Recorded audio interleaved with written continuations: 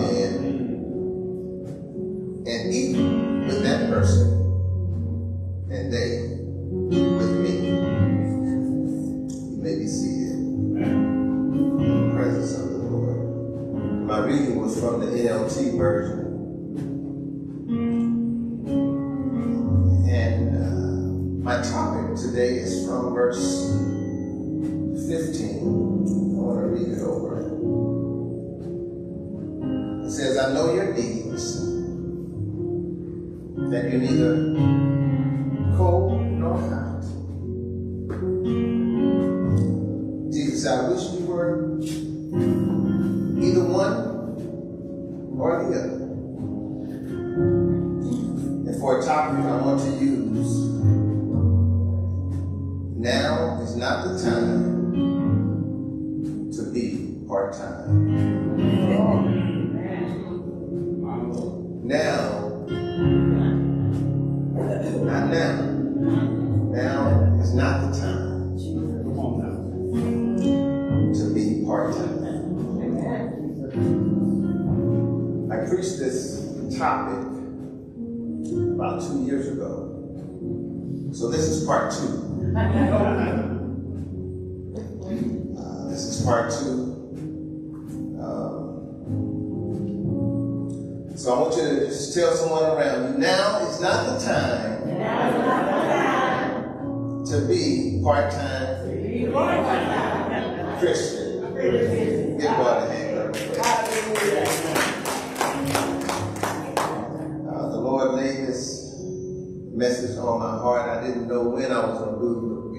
Part two segment of it, but now is the time. All right. Um, as you know, um, I'll be transitioning out and passing the baton to uh, Pastor Carson and Pastor Connie. Uh, my prayers that everyone will get behind them, like I said last week, and follow them as they follow Christ. Uh, so uh, my prayer is that you don't become part-time Christians. All right. All right. Jesus. I want the church to, to do greater things. I want people to be uh, even more, even more uh, involved, even more uh, than we were before. Amen. Amen. Uh, that is uh, my prayer. Uh, let us pray. Gracious God, eternal Father. Yes, God. Dear Lord, we thank you. God, we thank you. God, we thank you. Lord, we have so much to be thankful for. We thank you for just being who you are. You're the God of our salvation. We thank you for bringing us here to your house that we may hear what the Spirit has to say today. Open up our hearts, open up our ears, God, that we'll receive. That we'll receive what you have for us on today.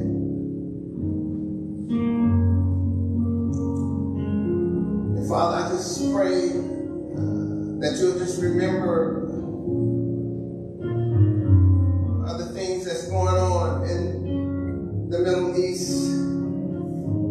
you, God, that you'll look upon them, that you'll help them. They need your help, God, and I ask you that you'll intervene. We know there's nothing too hard for you, and you told us to pray for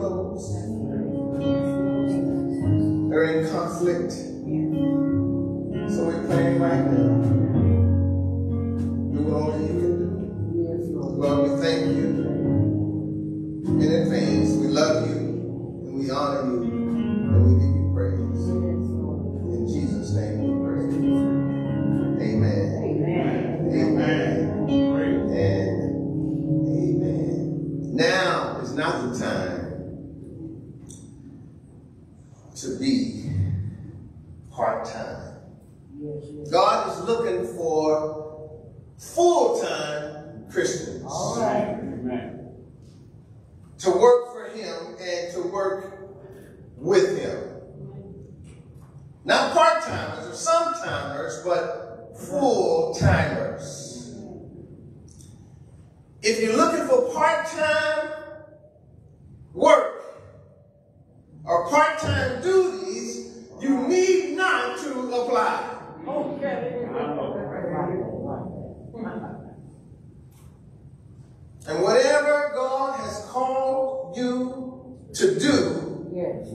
yes, yes, yes. be full-time at it. Amen. Whatever it is. Amen. And you don't necessarily have to be at church every Sunday to be a full-timer. All right, all right, all right. Some folk may think if I, well, if I go to church every Sunday, I'm, I'm, I'm full I'm hitting the clock full time. Mm-hmm. That's not necessarily All right. the case. Hallelujah. Don't be a part-time Christian who demands a full-time God. All right, all right. Let me say it uh, another way. Okay. If you work on a job part-time, when payday comes, you're not expecting a full-time check. All right. Yes. Same, same thing with God. Uh, uh, whatever a man sows, that shall also reap. That's it, that's it, that's Whatever you put in, whatever you put in it, ah, that's what you're gonna get out of it. All right. See, when a, when a, when a, when a, when a farmer goes to plant that watermelon seed, he's not expecting carrots to come up. All right. Come on, make it right. He's looking for watermelon. All right. Hallelujah. Ah, blessed be the name of God. So, so in, in first three chapters of the book of Revelation, we find seven different churches in Asia that Jesus addresses. So today uh, uh, we look at the church of Laodicea. And let me just tell you a little bit about uh, this church. Uh, uh, this church, uh, these Christians were, were known for their wealth. And what happened was they had stopped putting their trust and their confidence in God. Come on now. And, and so uh, Laodicea, they, they had an earthquake in AD 60, uh, uh, and it just ruined the whole town. So the town, uh, Laodicea, the city of Laodicea rebuilt, right? And so they rebuilt and, and, and, and they, they gained their wealth on, on, on, on cloth and, and, and, and, and linen and wool. And they became big time. And in the process, they forgot about God. So, so Jesus here, he's addressing them. He said, I, I, I know your deeds. I know your, your pockets are full. I know you got plenty of wealth. But I have something against you. You've lost and left your first love we have to be careful uh, uh, that we're not uh, following uh, the church of Laodicea. It doesn't necessarily mean that our pockets are fat. I, I, I, I remember years ago, there was this uh, young man that was faithful. Every Sunday he would he would take the, the RTD, in, in, in LA it's called the RTD, public service called, the, it was Richard T. Davis, the bus system. Uh-huh. And every Sunday he would take the bus faithfully to church. And then uh, God blessed him with a car. Everybody looking around, looking around. Where's Henry? Where's Henry? Hmm. God bless Henry with a car. Uh, Henry decides now he wants to wash his car on Sunday.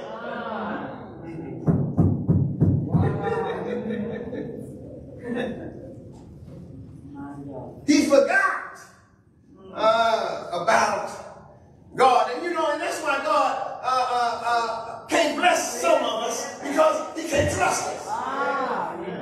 That's real. That's real. Because we're part-time. Hallelujah. Hallelujah. Hallelujah. Uh, uh, so he can't, uh, he can't trust us.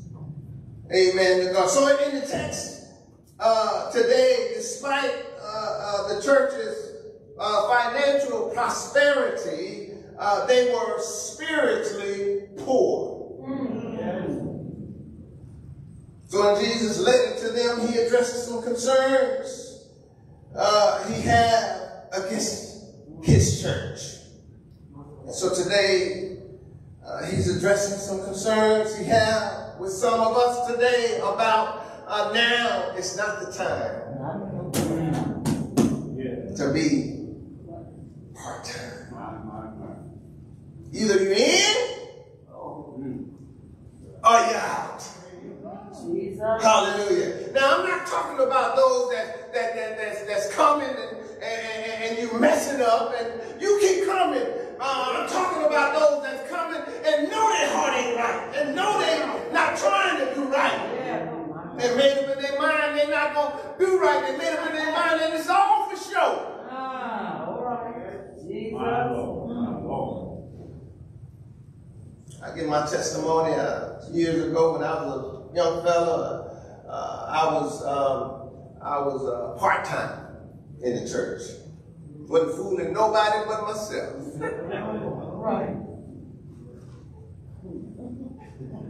I was lukewarm. I was neither hot nor cold. Hallelujah. But thanks be to God. Amen. He chastised me. He disciplined me. And I came on back home. Amen. Amen. That's how much God loves us. Amen. Amen to God. Uh, so, so we don't even like things lukewarm, right? Some of us are lukewarm. We're neither hot nor cold. Jesus don't want us to be lukewarm concerning him. And as I said, we don't even like things lukewarm. No one wants a lukewarm drink. We want iced tea or hot tea. We want hot coffee or iced coffee. We can't give Jesus lukewarm service. Why give Jesus something that we don't even want? Yeah. Right. Let's give him uncommon praise because he's an uncommon God.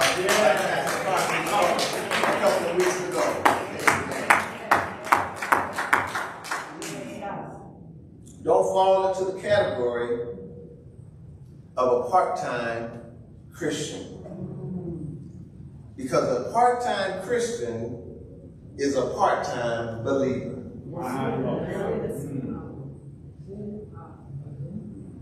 The Lord rejects half-hearted efforts of self-serving Christians.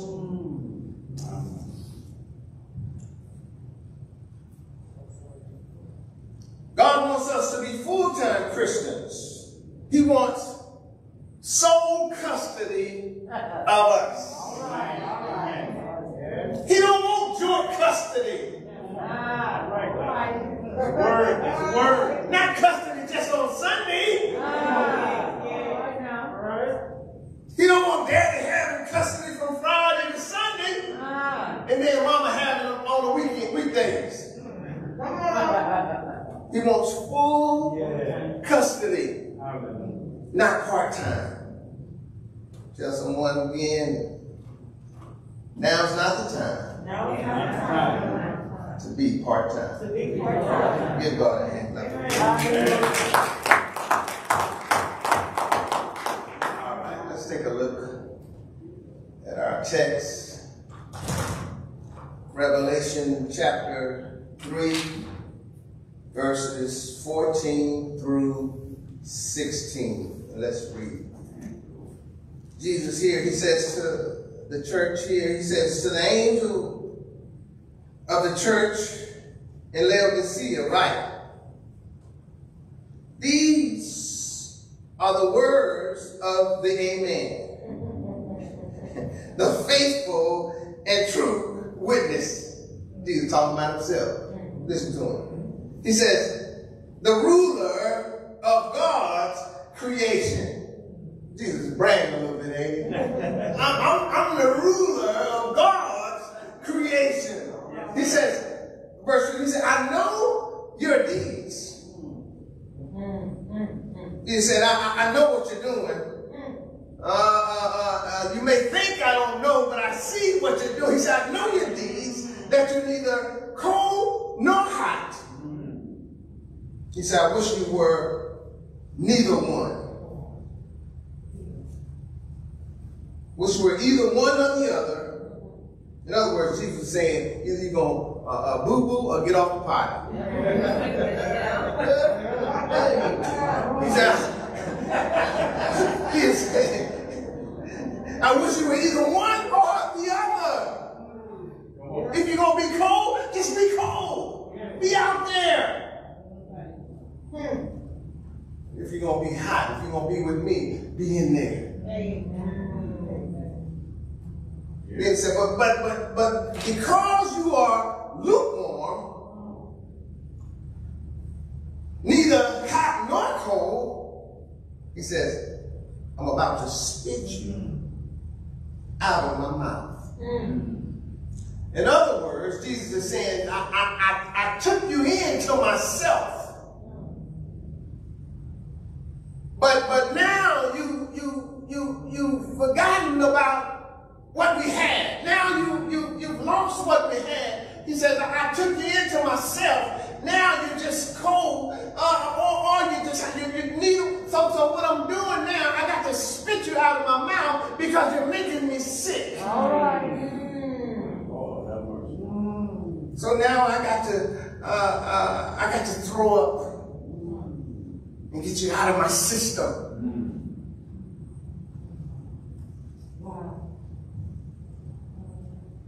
He said, I'm about, I am about to spit you out of my mouth. I want to talk about a part-time Christian a little bit. Part-time Christian uh, is a Christian of convenience.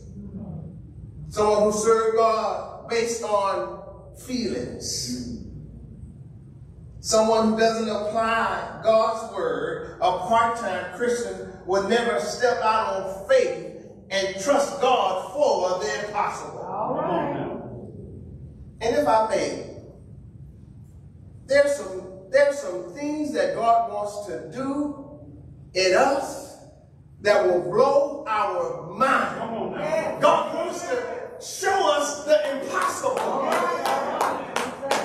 But he can't show it if we're part-time. God said, I'm the God of the impossible. I can do things that you never, ever dreamed of. If you just let me. A part-time Christian doesn't engage with the body of Christ. They don't want to deal with church folk. But you know, God birthed the church so we can deal with one another. Come. Yes, sir. That's it. Now, I ain't, I ain't going down there. She looking at me funny. I ain't going back down there. She's sitting in my seat. Ah, All right. God birthed the church also so we can work on one another, so he can work on us. Amen. You think God needs to be working on sister so-and-so, but God is trying to work on you. He's trying to teach you how to be patient and kind and love. But you so focused on, on sister so-and-so, and then you want to leave the church. So you from church to church to church to church, running into the same problem, looking for a perfect church. Ah, that's. And then if you find the perfect church, soon as you join, it won't be perfect no more. Give God a hand clap of praise.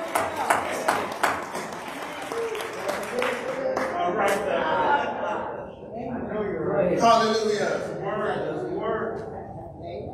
Now is not the time to be part-time. Help us, Lord. Help us, Lord. A part-time Christian uh, uh, is like a part-time worker on a job in some ways. They get little to no benefits. God wants to pour you out some benefits, some blessings that you won't have room enough to receive. But you can because you're part-time. Jesus. A part-time worker uh, don't get full health insurance. That's it. God wants to heal not only your body, but He wants to heal your mind. But you're part-time. Come on now. Come on. A part-time worker don't get paid vacation. All right. And I'm, I'm here to tell you that God is so powerful. Do you know He will send you on a vacation that's paid All right. All right. if you're full-time? that's,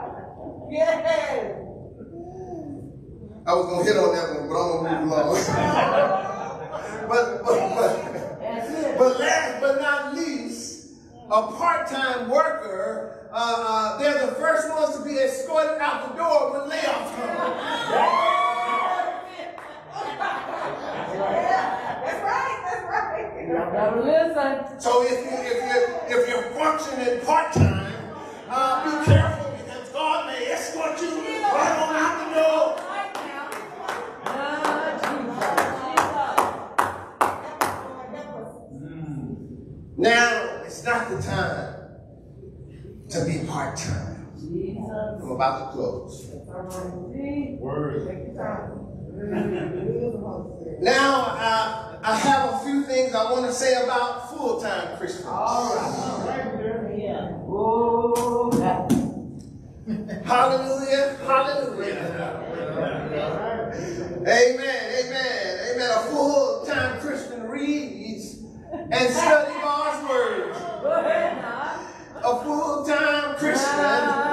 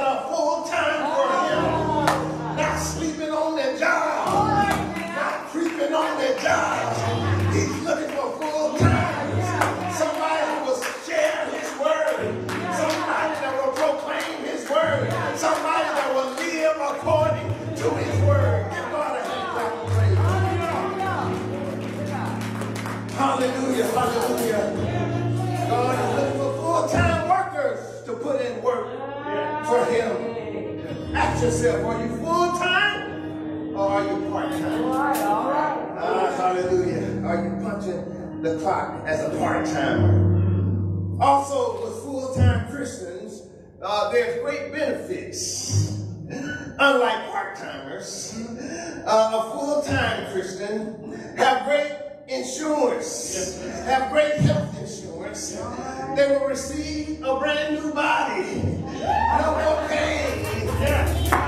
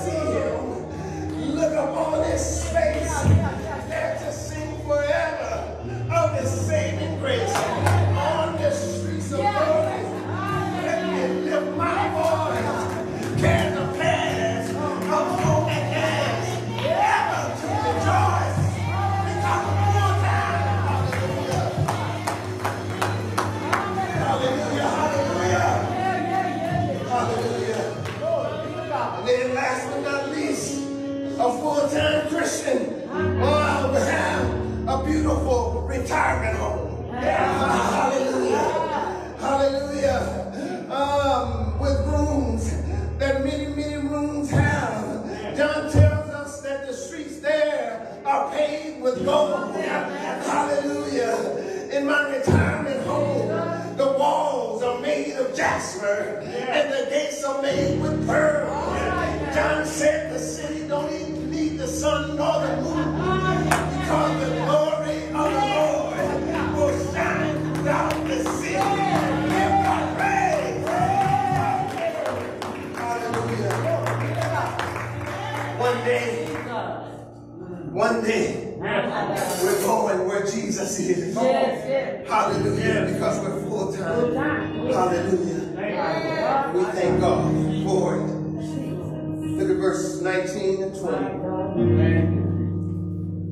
tell the church in verse 19, he says, Those whom I love,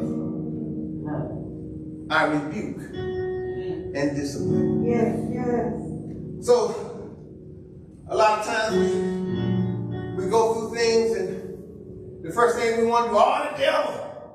Oh, the devil, it's the devil. Get behind me, it's the devil.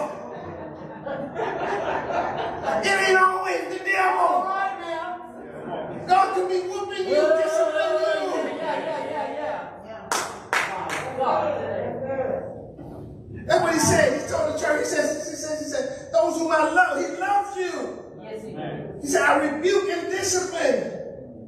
And so he said, so be earnest and repent. That's right. He said, just, just, just repent. He's telling the church, I, I, I see you, D. I know what you're doing. I, but I still love you. I still love Even though I'm whooping you. you. Ah. Remember when mama used to whoop us? Uh, I'm whooping you because I love you.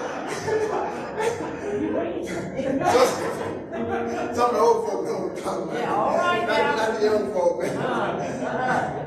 So Jesus says, uh, I love you. I rebuke and discipline you. So be earnest and repent. He says in verse 20, he says, Here I am. I stand at the door and knock. If anyone hears my voice and open the door, he said, I will come in and eat with that person and they with me. Jesus is not going to force himself on anyone. So what he does is he stands at the door. Imagine this. Jesus is standing at the door of his house. He's knocking at his own door. How would you feel if you go to your house and you got to knock on your own door to get in? Come on now. You said, Behold, I, I stand at the door. Jesus, He said, I, I, I'm not coming in because you're doing some things that I don't want to see. Ah. So I'm just going to stand there and knock. But when you repent Ah. and open the door, he said, I will come in Yeah, yeah. and I'll have supper with you. I'll sit down and we'll do some rubbing together. He said, but I'm not going to force it. I'm not going to boom, knock it down. He said, I'm just going to knock. And if anyone hear my voice, harden not your heart. Uh, will you open the door of your heart? Don't you feel him knocking? Hallelujah. He's trying to come in, but you won't repent of your sins. Hallelujah. Jesus said, I'm knocking. I'm knocking at the door of my own house. I'm knocking at the door of the heart that I made. Hallelujah. And you keep ignoring the knock. But if you just repent and open the door, he said, oh, come in. Yes, Lord. And I'll sup with you. Hallelujah. Oh, hallelujah. Hallelujah. Will you open the door and submit to his will and be full time? Hallelujah.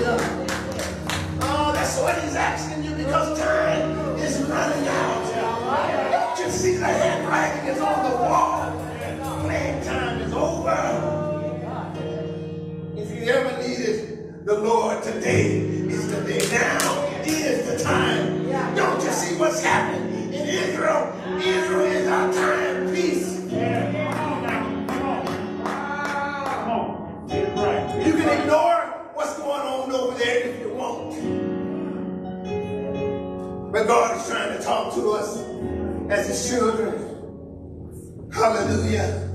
Will you open the door of your heart yes, Lord. and let Jesus in? Yes, Lord. Don't keep him knocking mm. on his own door. Mm. And look what he says. in verse 21. Just read that. This wasn't in the text, but just read verse 21 with me and verse 22. It's going to blow your mind what Jesus tells him. He says, in verse 21, he says, to the one who is victorious, in other words, to the one who repents. Yes, yes, yes. From being part-time. He said, to the one who is victorious, look what he's going to do. He said, I will give the right to. Yes, He said, I will give the right to set with me on my throne. yes. Just as I was victorious and sat down with my Father on his throne. Hallelujah. Oh, Jesus. Jesus. My, my, my. Let's, let's read that slow. He says, to the one who's victorious. I will give the right to sit with me on my throne. Yes, God. I don't think we realize how deep that is. Jesus took us from a nobody. Now we're able to sit with him Yes. on his throne. Yes. Just as he sat on the right hand of the Father on his throne. Yes. This is what Jesus will do uh, if we let him in. Yes. Come on. And in verse 22, it says, Whoever has, has ears, uh, uh,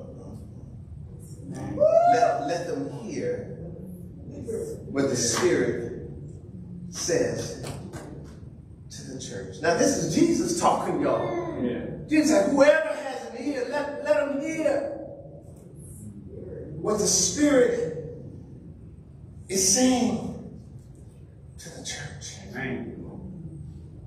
We must allow our spiritual ears to hear Yes, yes, yes. what Jesus is saying to us. Thank you. That's good. That's good. Because now is not the time to be part time. Yes. Give God praise. Hallelujah.